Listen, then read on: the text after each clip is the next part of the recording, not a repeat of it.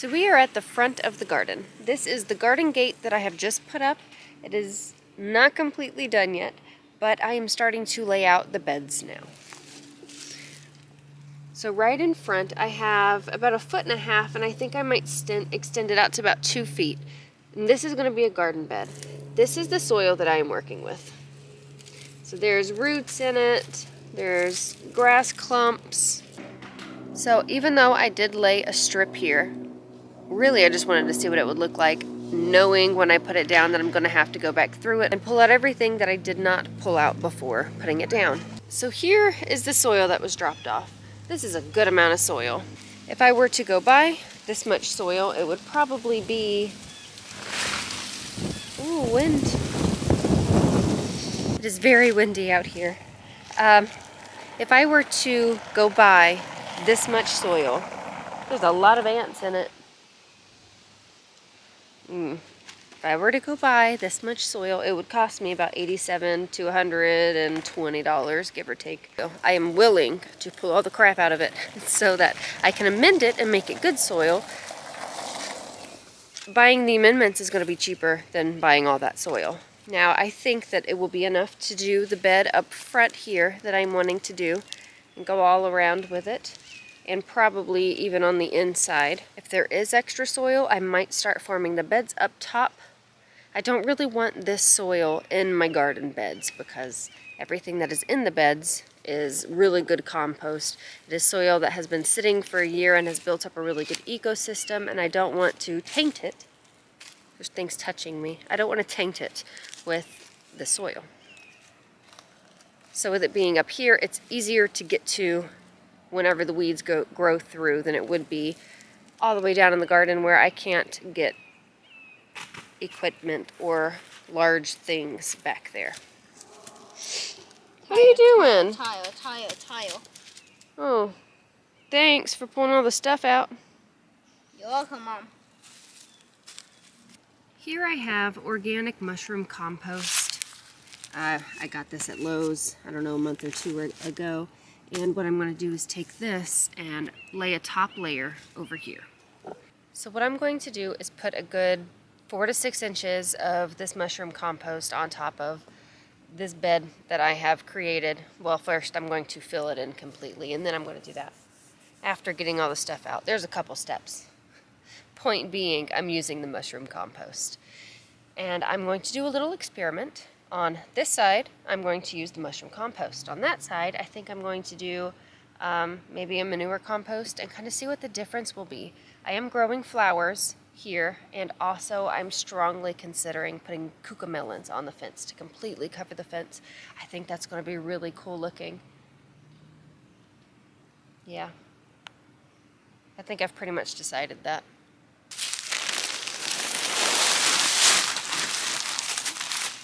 Is there anything I can help you with, Mom?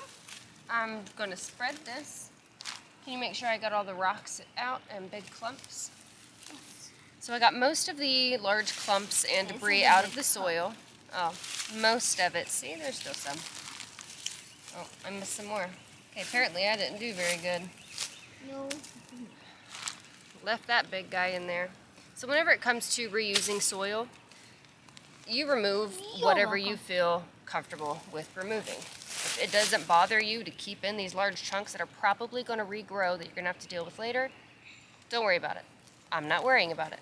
If you ever find tires in your soil, take them out Rubber chips. And I think that the rubber chips are from somebody who didn't know that you're not supposed to put rubber as a mulch in the garden because that's what it looks like. It looks like rubber mulch. It looks like somebody just whipped, shoveled up the grass and just, just, eh, just yeah. threw whipped up tile around it. Mm.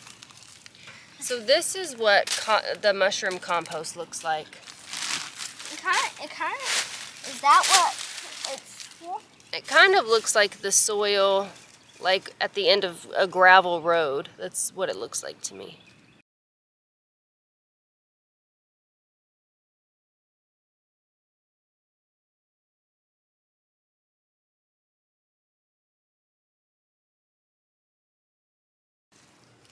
I am using a very thick layer of this on here, probably four, maybe six inches.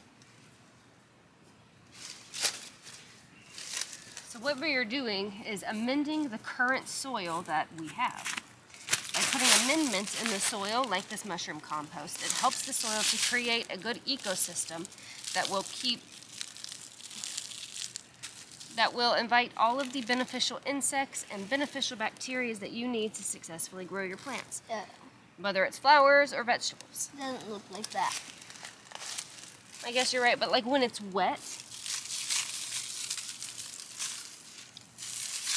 you want? yeah. Whoa, bee.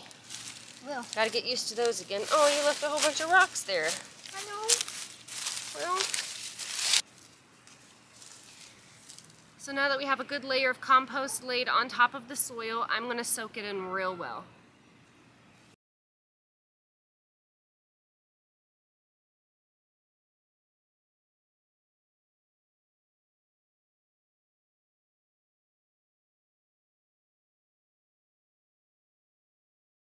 Now that this is good and watered in, I'm going to add a very good layer of leaves on top to mulch it. I don't want anything to grow through because I'm not planting in it just yet.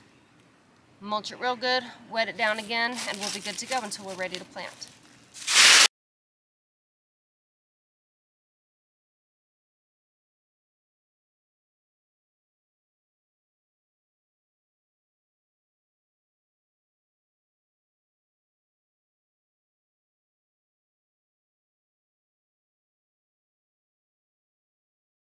So it's a couple days later now, and I have the compost in. Here we went and picked up a trailer full of compost. Good, thick, rich black stuff. I am in the process of planting trees, which I will have a video coming out for for that, but I broke two shovels and one post digger. So you can see I've already, I've been planting this morning. I'm out of breath. So because my shovels are broken and I have no way of continuing digging except for the post digger, which great for digging holes, but that's not going to really help me spread all this compost throughout the garden. So I have decided to improvise. These large buckets that I have came with the trees, of course. I have filled them with just the compost, and I'm going to now lay them on the rest of this bed. Here on this side under the leaves is the mushroom compost. We put that there, it's probably been four or five days, and we are now going to finish topping off the rest of this and over there with this compost. So what I am doing is adding about an inch and a half, probably two inches of this rich compost right on top of the soil. The roots that were on top left of this soil are dying off, exactly what I needed them to do. I am quite sure, excuse me, I am quite sure that some of the grass that is in this topsoil that I got is going to grow back. I am fine with that, which is why I put it here so that it is easier for me to control the weeds in the soil.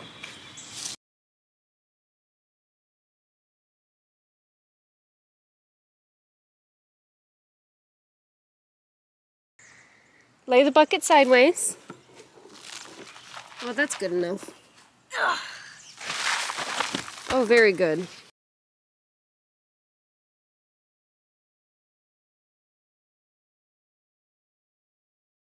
So what am I planting over here?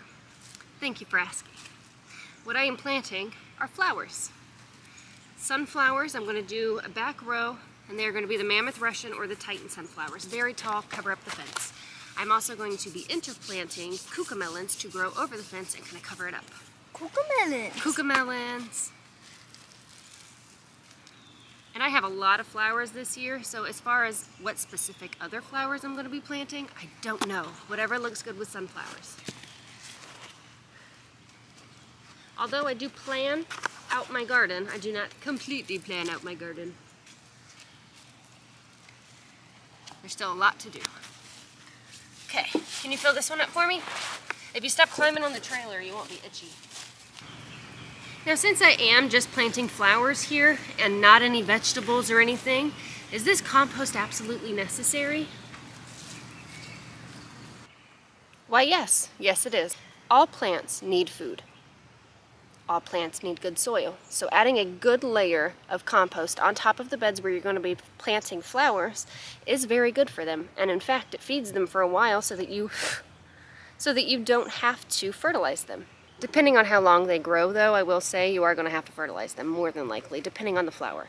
Then this is per flower, so take that as you will. Now I said that I was going to do an experiment on the difference in growing flowers between the mushroom compost and the aged compost. This has cow manure in it and organic matter. Specifically what is in it, I don't know because I outsource it. What is outsource? Outsource means to buy it from somewhere else. I am going to be working, oh, I am going to be working on my own compost pile this year so that I can kind of save some money, close the loop of having to outsource things and bring them into the homestead. So here is the mushroom compost. And you can see the difference in color here. The mushroom compost looks sandy and gritty, while this compost is very dark, very, it looks like good soil. Look, a roly-poly. Watch out, Landon. Roly-poly. Sure. This is the difference. Yeah. Sandy, non-sandy. Yeah.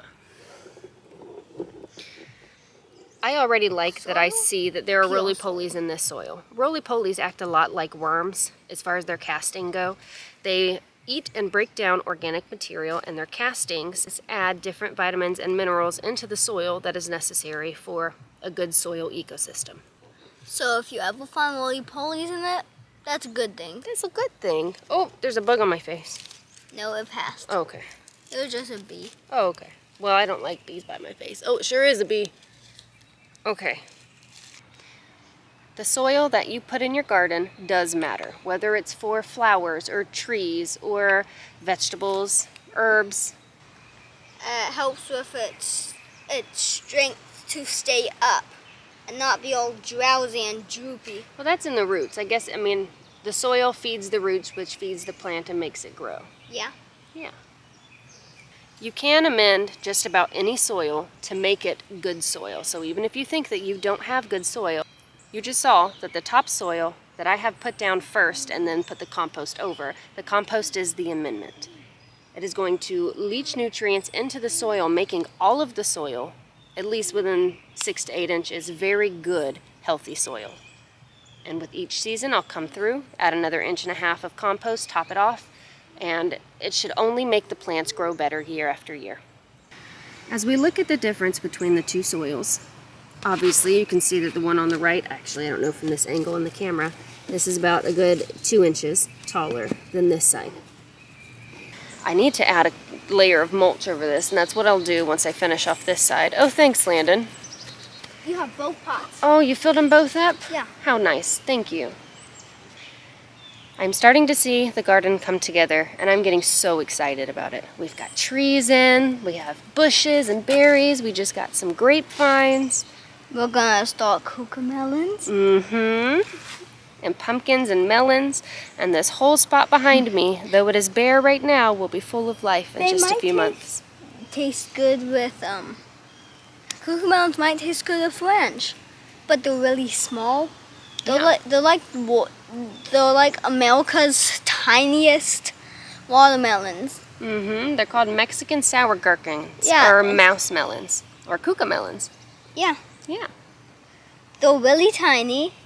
They can be sweet if they're if they're like they can get up to Like a small grape. this thick. Yeah, they don't get very big, do they?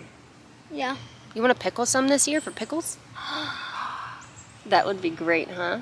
We can cover the whole fence in cucamelons, and we will have cucamelons out the wazoo. Can we go somewhere out back?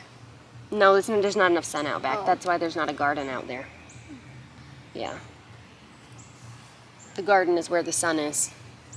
I'm pretty sure cucamelons grow on that cypress tree there, though, don't they? Yeah, that. and then we're going to put them all over, and they're going to cover the fence, and it's going to be beautiful. They used to grow back too. They did used to grow out back, yeah. Yeah. We put them out there one year. Remember, they grew kind of, but there wasn't enough sun, so they didn't No, grow very much. No, it, they did grow a lot. Oh, they did? Yeah. Oh. It was those little like bugs that shed the skin. That's how. Mm, that's right. They drained all the insides out. Yeah. Yeah. And I saw them and I said, "Oh, come on, come on!" Yeah. And then every day more cucamelons was missing, and I picked the last and sat down for a second, and I went to bring it inside, and the bug sucked it out. My goodness. Yeah. So Can you believe that this is going to be our fourth year at this house and our fourth garden? fourth garden. The fourth garden. The first garden, the first year, was in the backyard, and it did not do well. Remember, I tried it in many different spots because I wanted to grow something, but there wasn't enough sun. So I had multiple spots throughout the entire yard. Yeah. And then the second year, I moved it to the front on that side strip over there where I'm putting the apple trees, Yeah. and it did much better. And then that second year, I carved out the the woods. And then the third year you started the garden. And this is our second year with this garden and our fourth year, our fourth garden year. You made that. Yeah.